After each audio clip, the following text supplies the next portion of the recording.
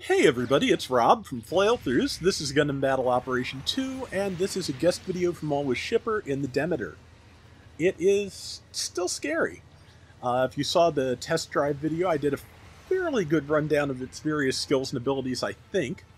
Uh, I did not get to show off its uh, uh melee uh, accelerator skill that gives it its boost back if it bounces off of something else's melee twice.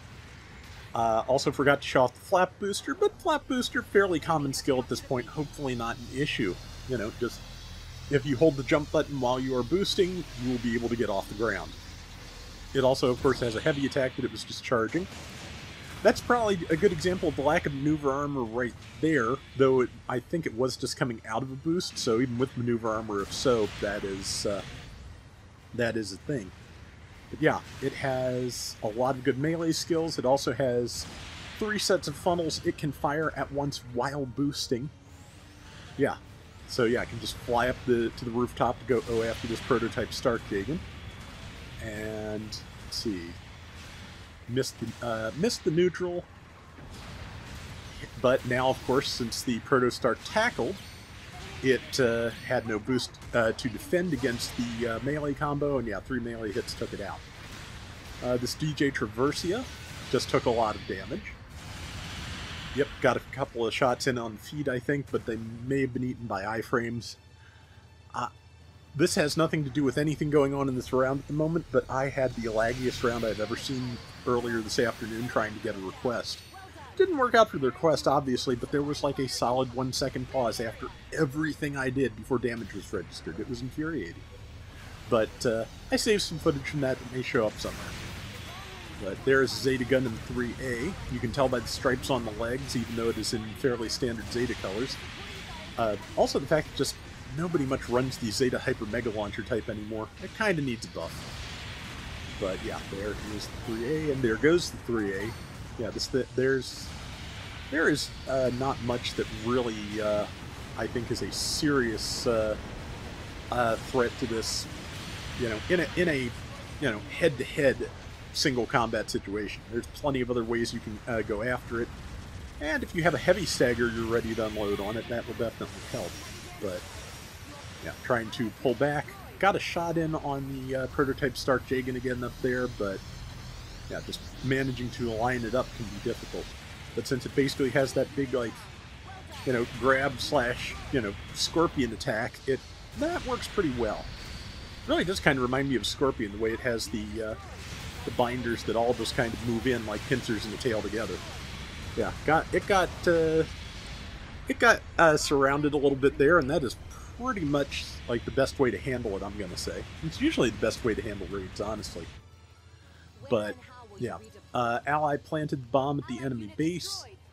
Uh, whether or not that's uh, you know going to be a lot of help in the long run remains to be seen.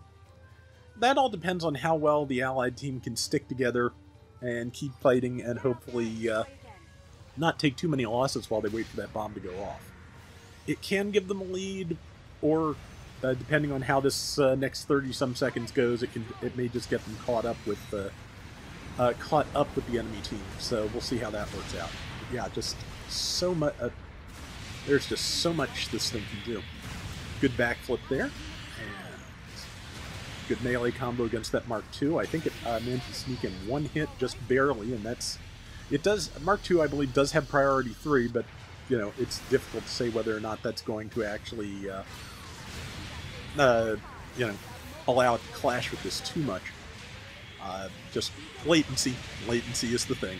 But yeah, that's the sentence I was actually trying to say before I just went into blather mode. Is that yeah, it also has priority three, but sometimes because of latency, you can uh, sneak in a hit against something that has equal or even higher priority to you uh, without uh, without uh, initiating a clash, which would again because of that uh, boost refill skill would definitely be to the Demeter's advantage.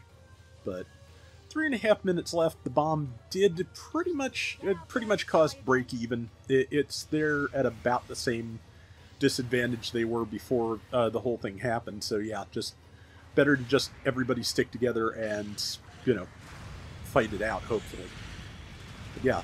Like I said, all those funnels that can fire while boosting.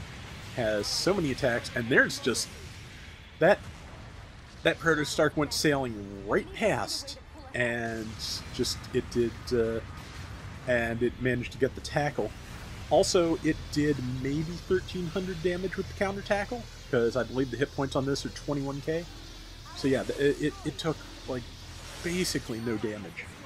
But yeah, the okay, yeah, the Qubeley was uh, was paying attention because you, uh, yeah, like I said, the the like kind of like extended claws there as before the before the heavy attack really is uh, a good uh, really is a tell if you're paying attention. That's like one of the biggest uh, disadvantages or one of the biggest basically saving throws you have against it when uh, uh, when you're uh, you know stuck in one-on-one combat. Yeah, I'm pretty sure those various beam attacks, yeah, going to be enough to knock that 3A out of the sky. Did not quite catch it because of the ledge, but yeah, that again, this thing is just really strong. Oh, and there's the special tackle that I forgot to show off in the video too.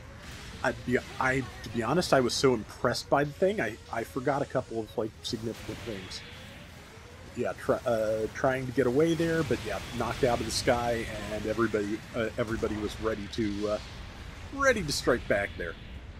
So, yep, Traversia uh, got it, but yeah, this again, this this thing is really good. It maybe is not as overwhelming as I uh, thought it might be la uh, last night when I did the test drive, but yeah, it's it's pretty solid. Night before, actually. Time is time is Ah, time has no meaning at this point, but uh, yeah, about a minute left. Unless somebody is at their at the Allied base, it just all comes down to fighting. Allied team does seem to be a little bit all over the place, which is a shame, but okay, I'm not sure how that Traversia took the damage that didn't end up on its face, but there you go. But yeah, okay, yeah, they, they are just all looking to focus uh, this thing. Yeah, and there's the base tackle, the uh, uh, the kick. Good combo there. Looks like it hit the shield. Good time to get away and get back with the team.